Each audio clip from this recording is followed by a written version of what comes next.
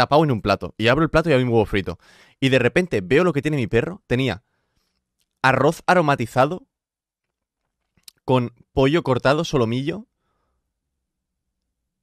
¿Y qué más? Y con, y con jamón dulce.